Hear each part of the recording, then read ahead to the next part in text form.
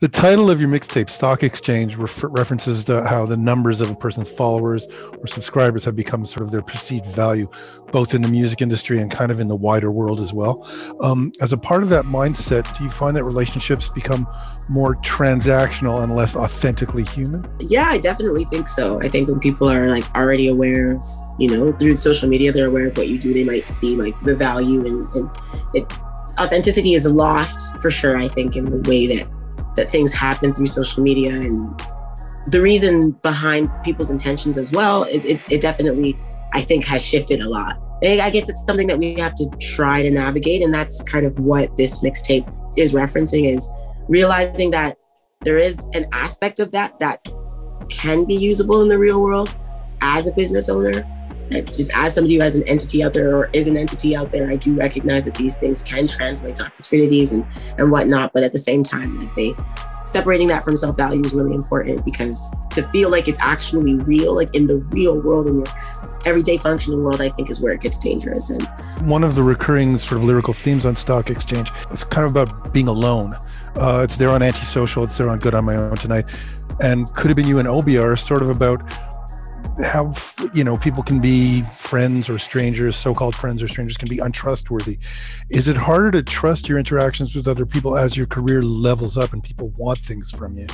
Absolutely yes. Definitely. It's it's unfortunate but yeah i think it comes with it. I think people have a difficult time sometimes and only some people right? But sometimes they can have a difficult time with the changes that you're making. Like this can happen even if you're, you know, just like progressing within your job and maybe they're not progressing within their job. Or sometimes I think it's hard for people to be happy for people when they're not happy for themselves. And so I think sometimes we get the translation of, of like envy and jealousy and stuff that may happen as someone starts to achieve success. You start to realize certain behaviors, like you start to see, and you're like, what? I don't recognize this version of this person, or like, what is, you know, causing this shift?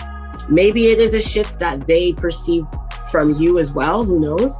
Um, but I definitely think it becomes a little bit more important to keep that circle a little bit tighter and to be a little bit more consciously aware of the fact that people are consciously aware of you.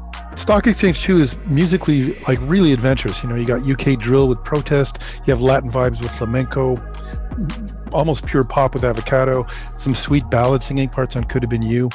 Um, were you just feeling different vibes at different times, or was it more down to the different kinds of beats that your uh, collaborating producers were sort of cooking up?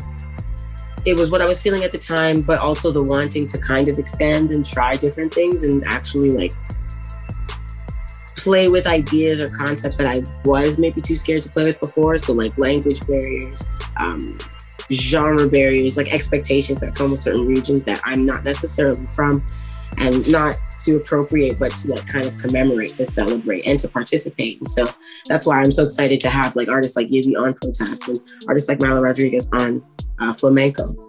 Uh, I think it's it was an explorative year, you know, and I also think it was a very chaotic year. So I felt like it was the best time to uh, experiment with this idea that I had of initially stock exchange wasn't supposed to be a project so it was easier to look at these these songs as singles and have them be like completely individual to each other and not have to like follow a theme. You're a singer, a songwriter, a rapper, a producer, a performer, a video actor, a co-director, an entrepreneur, uh, and you've just started being a philanthropist with your $10,000 black-owned business giveaway in January of 2022. Can you talk about the source and the goal of that initiative?